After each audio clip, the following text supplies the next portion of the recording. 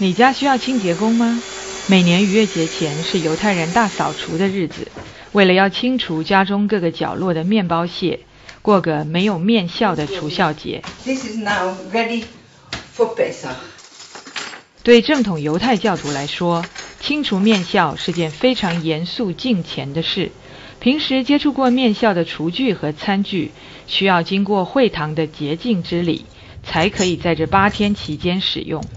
所以，这也是各个卖场、超商餐具大特卖的季节。在这个超商的逾越节专区，贩卖着各种逾越节时洁净可吃的食品、无效饼和无效饼粉。这位犹太妈妈向我们介绍，她厨房这一柜子逾越节专用的厨具和已经清洁整理好的逾越节食品柜。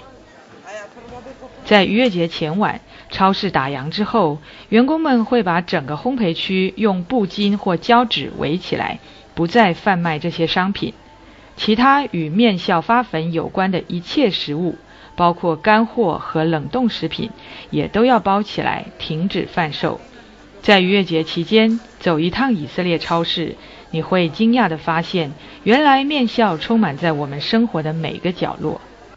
隔天早上，赶在逾越节晚餐前的最后几个小时，犹太教徒们会带着家里剩余的面粉类食品到会堂门口去烧。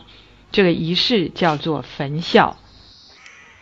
透过孩子们的参与，逾越节必须除孝一个礼拜的诫命被一代代的持守和传承下去。